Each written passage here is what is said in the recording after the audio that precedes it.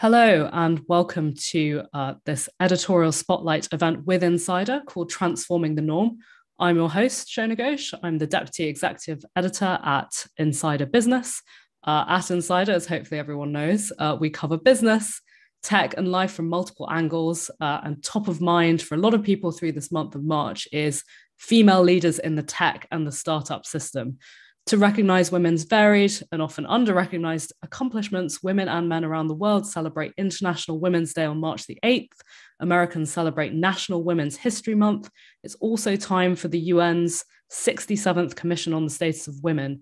And this year's theme was digital innovation and technology for gender equality. So, with that in mind, and for day, today's spotlight conversation, I'm delighted to welcome my two guests who are female leaders in tech. They are Michelle You, co founder and CEO of Supercritical, and Oana Jinga, co founder and CCO of Dexory.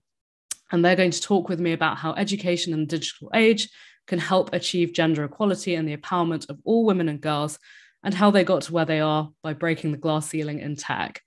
Please feel free to submit audience questions using the Zoom Q&A widget. Uh, we will try our best to answer them towards the end of this approximately 30 to 40 minute event. You can also join the conversation using the hashtag insider events on Twitter, LinkedIn, wherever you like to share, etc. So, Michelle and Oana, welcome. Thank you so much for for joining this and doing this panel with me. Um, I'm going to jump right in with some very quick icebreaker questions, but we can always dig in a little bit later. Uh, so, my first question, um, Oana, why don't we start with you? Is there a glass ceiling within tech? Yes or no? Yes. Okay, we're definitely going to dig into that one. Michelle, over to you. Yes or no? Yeah, I think that's pretty undeniable. Okay, we're definitely going to dig into that. And the next quick fire question is which field in tech do you anticipate growing in the future? Um, it can be one year, five years, a 100 years. Um, interested in your thoughts. Michelle, let's reverse the order and start with you. Um, in terms of which uh, sector of tech will see growth? Sure. Yeah. Well, yeah, I mean, we're in climate tech, and I think that, you know, as time goes on and the climate challenge becomes more and more urgent, there's need for solutions. So I think that that's unfortunately going to be a growing sector of tech. And Oana. I should probably say robotics because that's we're in. Uh, but I'm I'm gonna kind of diverge from there and actually th- say um, human enhancement. I'm seeing more and more things kind of that it should kind of help us push our bodies and minds further. So I'm, I'm quite excited to see how that's going to develop over the next few years. Thank you both so much. Both super interesting um, answers to the questions. Uh, I am going to dig into the glass ceiling question. um, you know, what is it? What is it that makes you? What makes you think there is a glass ceiling in tech? Is your own personal experience, the things that you see? I would just love both of you to just briefly delve into that a little bit, um, even if it's a slightly, uh, you know, troubling start to the conversation. It's good to be realistic about the challenges that that you know women and and girls potentially face going into this field. Oh, Oana, why don't we start with you? I think both personal experience and just seeing actually the other kind of examples around me, there's still very, very little representation of women in leadership positions around the tech industry. Um, the, the amount of funding that women is are getting just, just for their businesses is much lower than the men. So there's definitely still an issue in terms of, of kind of having proper representation. Um, I think on, on a personal level, I was quite fortunate to work with some very, very strong women leaders across my career having like very very good examples but i could also kind of sense at multiple times the struggles that they were having to just continue climbing the the ladder.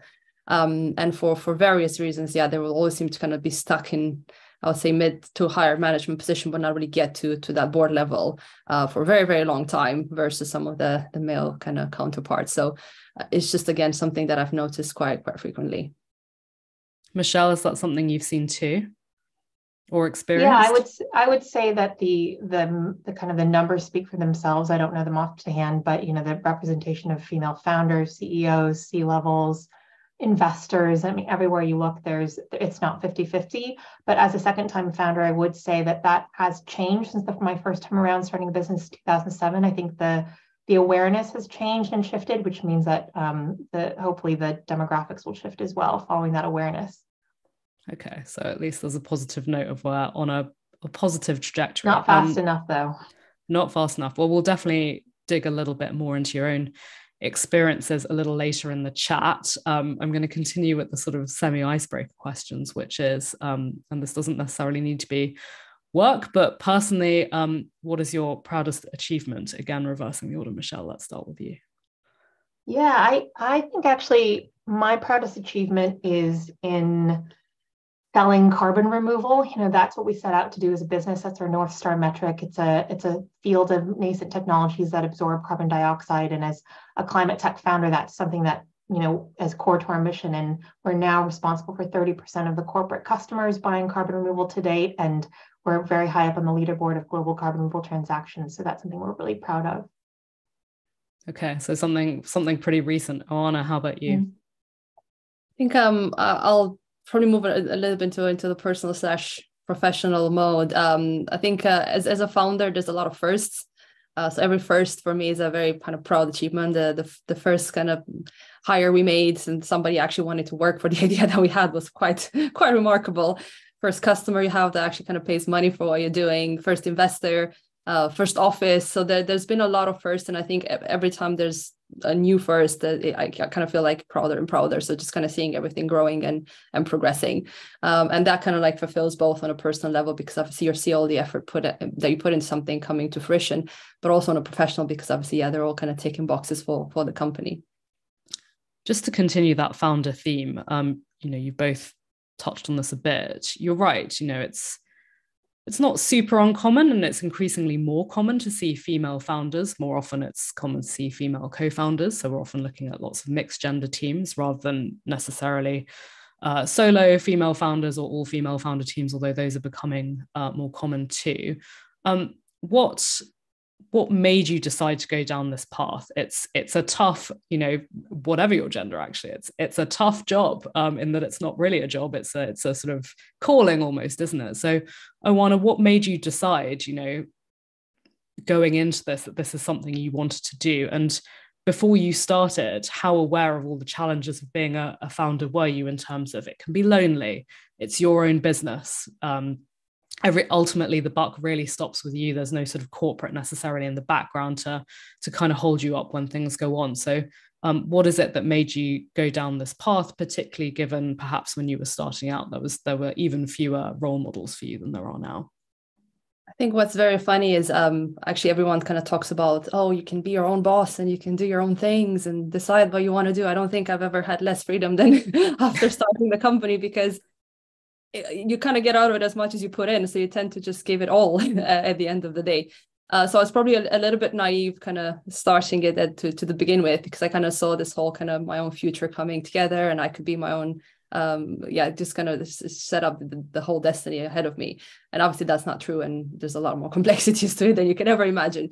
Um but i think i always kind of had this feeling that i want to build something um of my own. Um since i was a child i i don't know why i always kind of thought i'm going to have my own business and it didn't happen immediately. Like i went into a corporate career worked at some amazing companies some amazing people but i was always kind of drawn back to the idea of of yeah having something of my own. And to your point earlier, probably uh, yes, I am a co-founder. So uh, if it was just me, I don't know if I would have done it. I've got two other amazing co-founders that, um, in a way, kind of we we we continuously motivate each other every single day, and we kind of got each other into into it to start with.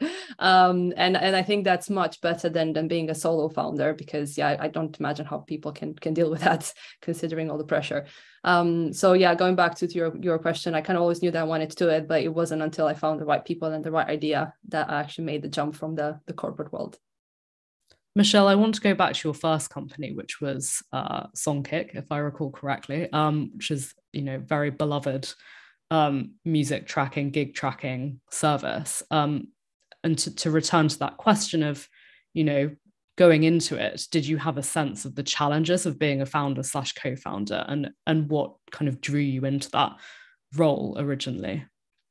Yeah, I think you know we started to, Songkick in 2007, and we were probably in the second year of YC. So you have to remember back then, being a founder and what that meant. Starting a startup wasn't really a thing that was well discussed in numerous blog posts. So, what really drew me to it was the idea of creating something and building something from the ground up. You know, at that time, I loved going to shows. I was a huge music fan and I wanted to create a tool that would help me and my friends do something that we thought was meaningful. And the more you start building something and seeing the results of it and getting users and people loving your product, kind of you realize how addictive that is. I think the second time around, I went in knowing exactly what the cost is and the hardship, and took me a really long time to feel ready to do it again. But what drew me to it the second time around was that feeling of knowing I could have impact very quickly and go up a really steep learning curve to create something in the world that I thought that should exist. What was your biggest challenge, would you say, Michelle, from that first time around that has informed, you know, the second time around? Um, the biggest challenge the first time around, honestly, uh, was starting a business in a market with incumbents and a monopoly. Uh, we ended up suing Ticketmaster for antitrust violations and winning a $130 million settlement for that with from them. You know, as a 25 year old founder, I didn't think about that. And one of the things I love about my company now and working in carbon removal is that it's a very nascent industry with no incumbents. I'm not against a monopoly that, that's preventing me from growing. And, and that was a deliberate, you know, decision going into the second business. That's pretty interesting. So starting where there's lots of incumbents as a first time founder is is a tough old cookie of a challenge, it sounds like. yeah. Um, I mean, this somewhat relates to the question, but in terms of technology as a field, because you could have been potentially founders in in any field, um, you know, what drew you to technology specifically? Um, you know, the, the question somewhat answers itself over time, but back in 2007, as you say, Michelle, um, it wasn't particularly common as a career. It was very much finance. You know, that's pre-crash. 2007, the crash is maybe about to happen, but people were mostly going into banking uh, after uni, if I recall correctly. So, what is it that made you think that technology was the the route that you wanted to go down with your entrepreneurial capabilities? Yeah, Michelle, I don't think it was. You. I don't think it was a deliberate consideration. I, I've always been drawn to technology. I grew up in the Valley. My parents worked in tech, and I think that the impact that technology can have on culture was something that was always really interesting to me, you know, from everything from social media to how we discover how shows are happening. And I think intuitively, what drew me to tech was the ability to have scalable impact from day one very, very quickly rather than you know building a brick and mortar business where your impact doesn't grow as quickly. I think that that scale was what instinctively drew me to technology but it wasn't something that i thought about very explicitly when starting the business. What did your parents do um, my mom was a VC and my dad was an engineer. Okay. And so were there, you know, computers lying around the house, you yeah. know, when you were younger yeah. and you kind of got to play around? Any p- computer in particular, or was it more sort of being interested in the general atmosphere of tech, or were you kind of playing? My mom worked for Apple in the 90s, so we always had Apple computers around. Um, you know, I was on the internet from a very young age, um, and I always found that connection to people and finding niche communities like just an amazing thing about the internet. Yeah definitely. Um Oana, how about you? What what is it that drew you into um tech rather than necessarily sort of broader business or you know really any other sector I mean, just kind of building what Michelle said, um, my parents were actually doctors, and I've got seven doctors in my family, so there was no expectation whatsoever for me to do something different. um, but I kind of yeah diverted from the path quite, quite early on, um, just from the moment like I decided not to go to medical school, which is obviously quite a big shock for a lot of people, but uh, it is what it is um i was kind of like reflecting on that question a little bit and i i don't know what when the actual moment happened. I think um again kind of going on to something that michelle said as well that com- combination of culture and technology is probably what drew me to it. I was one of the first kind of users of Twitter in like my group of friends, and I was always like on on social media, and very quickly kind of understood the power of that. Uh, I was studying marketing at the time, so obviously, especially with the marketing hat on, I just thought that that that's pretty much um, um, amazing just to kind of see messages kind of going um, from one audience to another and the power of it um, so when I kind of got my my first job, I actually was working for for Telefonica, which is a, a telecom company. So you can kind of like say it's more telco than tech, but they are quite advanced when it comes to digital products. And I was working on the digital team. Um, it all kind of like came together and it, it, made sense to me. I just didn't really see myself doing anything else. Um, just going back to that power of technology to really kind of change the world, to connect people, to yeah drive messages around whether they're right or wrong but still just kind of the, the power that um, that tech has across everything we do every day. Both of you are obviously company builders. That makes you not just um, you know leaders on the corporate side you're also managers. You have to hire people and, and build teams and that can be uh, I certainly find this as a journalist who's also a manager, quite a different skill set to, um, you know, the corporate side of things. How much experience have you had yourselves in terms of having female bosses? Um, versus male bosses? Would you say that you've tended to have uh, male bosses sort of prior to prior to getting into startups and, and you know either way how has that sort of influenced what you do or don't do i can definitely say there have been some uh, toxic male bosses i've had who have informed me how not to be a manager. So interested to hear sort of what the, the gender balance of your own previous managers have been and, and how that has or hasn't sort of informed the way that you that you've learned to manage. Um, Michelle, why don't we start with you? Yeah, sure. So before starting Songkick, I worked in the publishing world, and both of my bosses were women in the two roles I had before starting the company.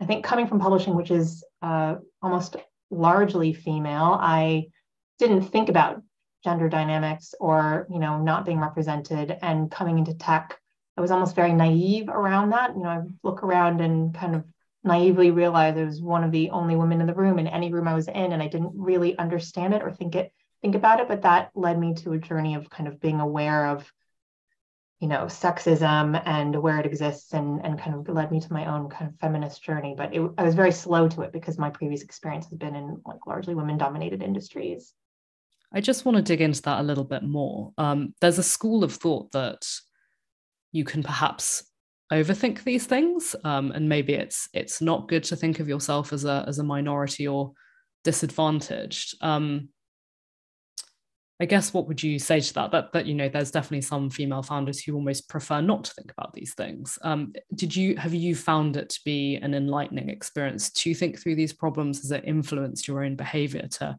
to kind of proactively think about it and not necessarily see it as you know something that should be ignored or kind of maybe not overthought? I think you can't fix it if you're not thinking about it. Um, you know, I, I, would say I kind of slept walked into Songkick, not really thinking about the gender balance of our team or our investors or our hiring pipeline until quite late in the process. And once it's gone too far, it's too late to fix. I think there is a downside to being overly conscious. You can get very kind of almost uh, cripplingly, you know, paralyzingly aware of those things, and it'll prevent you from being yourself or feeling confident. But you know that was one of the things that i wanted to change with supercritical. It was one of the things that we set out to do when we raised our first round of investment was to make sure that our cap table was gender balanced. And as a second time founder i knew that that was something i could do i had the privilege of doing and i just wanted to make get it done. Whereas i think as a first time founder i didn't really think about it that deliberately and was just grateful to get investment. Um, but it's definitely a, a balance to be sure. I think that one of the things that i'm proud of is that our hiring team now is talking about our pipeline, wondering about how to make it more diverse, where they've never done that in their previous roles. It was never a topic of conversation. So I think if you're not aware and talking about it, you can't change it for the better. In terms of just again to dig back into that, and I will come back to you, Oana with the same question, but um, talking about your um, cap table, so so the investors from whom you've who've raised money and now hold stake in your business, um, you know, a kind of common theme certainly in European tech that we we hear a lot about is um, and you know any underrepresented community, be it women, minorities, etc., is actually that there's a relative, you know, when there's a dearth of people being represented, they don't get rich, they don't then go on to found their own companies, they don't they don't sort of create this positive dynamic where they're affecting change by themselves being successful. Is that is that sort of what informed you're thinking around you know getting a you know more women in the capital you know what specifically were the benefits you were looking for there yeah i think I, I came to that decision from my own personal journey becoming an angel investor and realizing there isn't this secret special skill it's just giving money to a company and your time and your expertise and kind of demystifying that for myself made me realize why aren't more women doing this? It's, it's not some special club that you need an MBA to join. And then also working at a VC firm and seeing the economics you know they do aggregate towards the investors who make the returns and the exits. And if you don't have women as part of that community they won't have the capital to invest in the next generation won't be part of the ecosystem. So it was my small way of trying to break that cycle. I want to over to you on the the sort of female to male boss ratio and, and lesson learned lessons learned for your own management.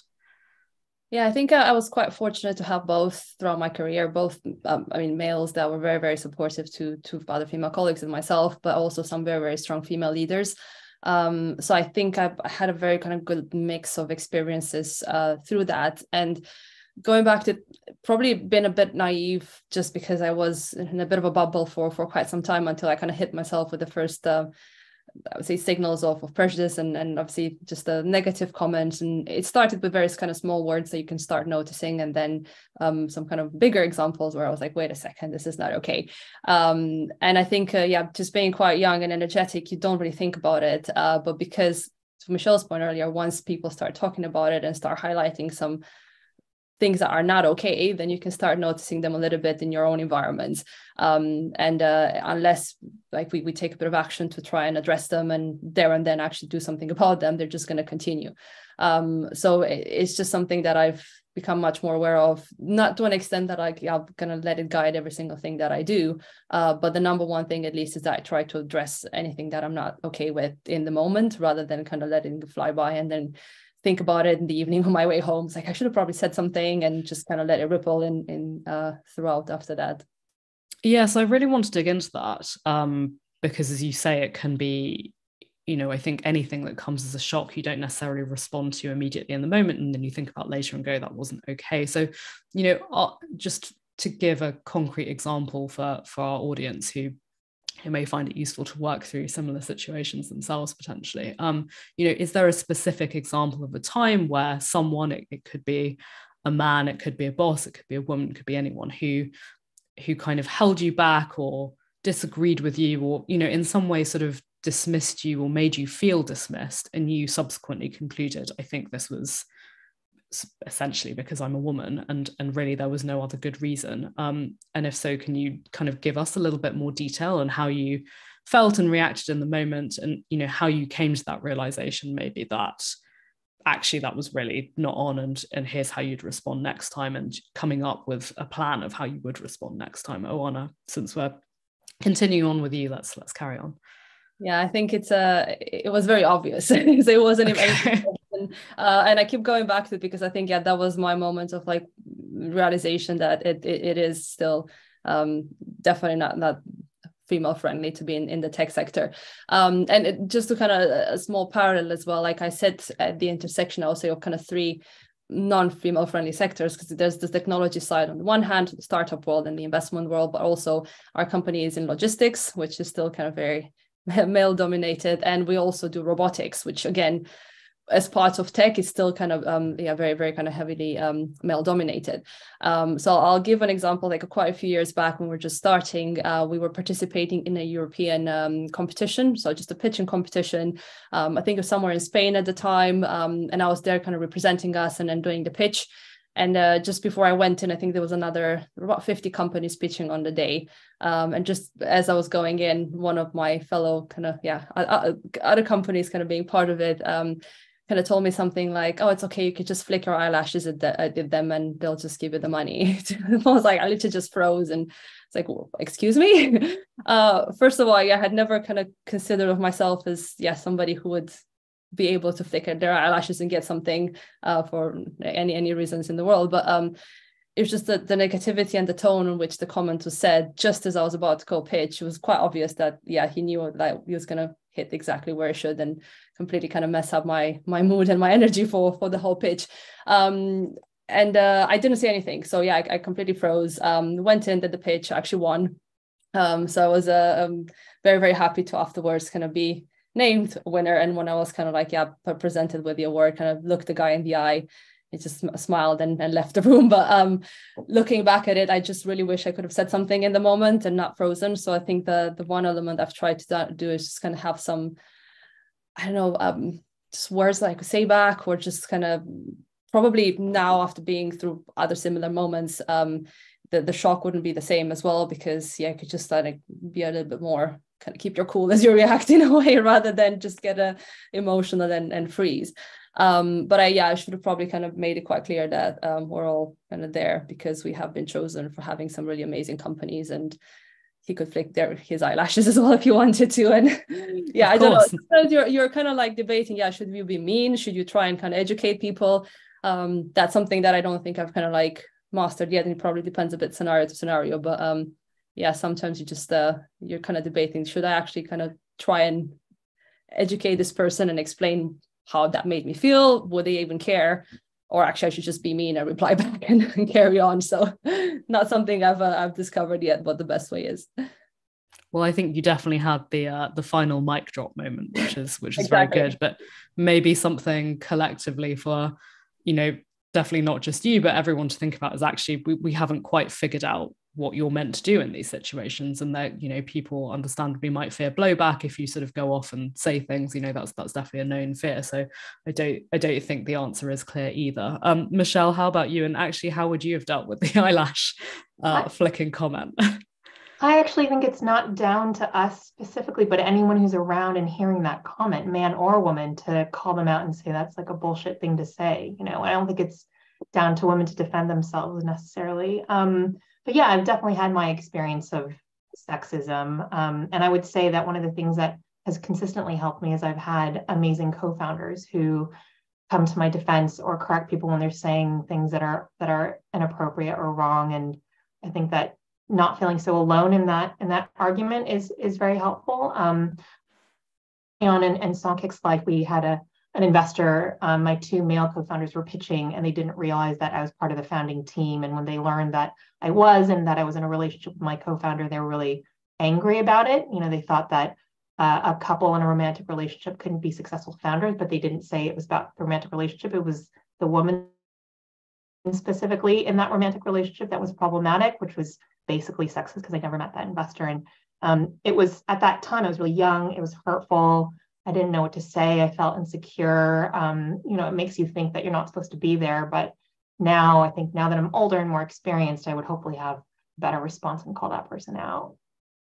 Do you think that kind of response is still common? There have definitely been, you know, tales of again, maybe there's a mixed co-founding team, and maybe the female co-founder is pregnant or has just got married, and there's been some comments always from VCs um, some questions to be asked there. But uh, you know, often an investor has has said, you know, aren't you going to have your hands tied up with a baby? And you know, which is a pretty appalling assumption to make. But do you, do you still think that you know that there's some issues there essentially to address and that that there there are still some of these prevailing attitudes maybe it's behind closed doors so we don't always hear about it or do do you feel it's less common to hear these things I think it's less common because it's less socially acceptable. There's been a lot of awareness around what's okay and not okay to say, but I think that those thoughts definitely still exist. And that's why one of the very early things we did at Songkick, you know, before any of the big tech companies did it, was to institute equal parental leave because I didn't want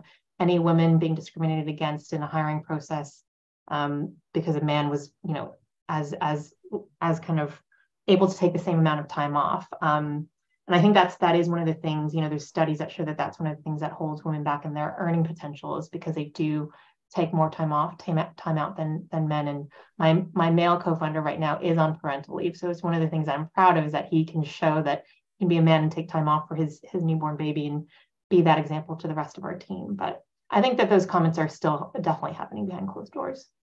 Yeah, that's uh, troubling, isn't it? Uh, just to touch on your parental leave point, I think you're so right. Um, who came up with the the equal leave policy? Because i often find it you know even if it's going to benefit everyone it's often women who are speaking up about uh, changing it to be equal even though it will also benefit um, men. Yeah it was definitely me. Um, our first uh, dad you know his he he came up for parental leave. This was in, within the first early years of songkick and for me, my knee jerk reaction, well, we had to make a parental leave policy. We didn't have one yet. And I said that we should have an equal one. And that took a lot of time and, you know, educating my my male co-founders and why that should be the case. We didn't get there in the first instance. And like it was a few years in before we were able to give it. Um, but it was, yeah, it was definitely me that that was aware of that issue and did a lot of research around it. Yeah, definitely. It's so interesting. The, the burden is is often on um, women still, but it sounds yeah. I would love to see more companies adopt the same policy. Um, and just to just to continue with you, and you've sort of touched on this um, a little bit so far, but you know, really, you were. I actually can't really think of many others, but you were definitely one of, um, you know, the first really prominent female founders. I think prominent in part because it was consumer tech. Songkick was very loved at the time. Um, is that something that you noticed? You sort of mentioned that you noticed over time, but you know, the more you went to pitch meetings and the more that you hired, you know, you noticed that actually there just weren't necessarily that many women on the commercial side, perhaps female engineers. Um, you know, how did that sort of strike you at the time in 2007 sort of onwards? It the way that it struck me was it made me think a lot about my own educational path. You know, when I was a teenager, I actually coded my first website for fun for one of my favorite bands, and I didn't really think about why I didn't pursue that. You know, I didn't I didn't really I loved doing it. It was really fun, but I didn't interrogate why didn't I study engineering or computer science rather than English and philosophy? And it made me reflect on the kind of the gender norms I was probably intuitively following, but not really realizing it. And I just saw loads of men in the engineering department and decided it wasn't a major for me. And and that that made me feel really sad and and feel like that's not some you know it's not something that's within an individual's control. It's kind of a social systemic issue.